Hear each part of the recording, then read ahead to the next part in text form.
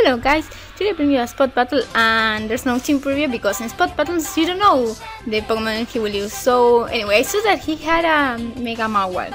So I decided to bring Lucario just to deal with it and that's correct because he did bring the Mawile and I noticed he didn't have Intimidate. That's it's interesting and actually worked because that way you can't intimidate it and cut its attack which would cripple it so it makes sense.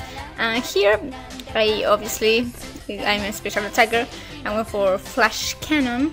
He probably stayed in expecting a physical attack and Mega Mawile has a very nice defense about is 125 base and whew, that's really big and he go for swords and so I'm guessing he didn't expect that and now I'm expecting the sucker punch so I went extreme speed and thank goodness he didn't have intimidate because maybe that extreme speed wouldn't kill the Mega Mawile so now Thanks for him having Invocator instead of Intimidate, I managed to kill it without getting a little bit of damage.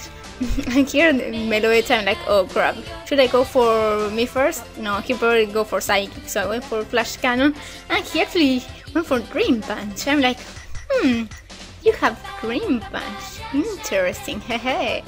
Why don't I F you and go for me first this turn? I should have done that before. So I go for me first, and probably that guy was like, what the hell with that Lucario?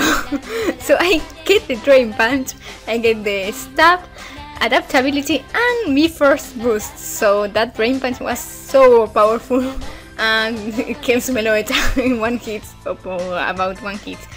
So he's in a really bad situation because I have three Pokemon and he only has a Sableye.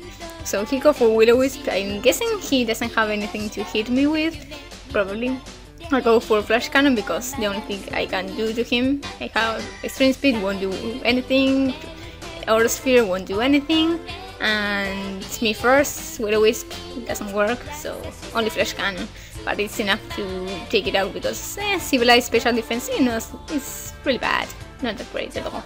Anyway, another Flash Cannon, and here I thought he was about to quit because he took way too long to do the last move but he was a cool guy and didn't rage quit so thank you for that uh, I have two spot battles. This one I had it before I went for that short holiday.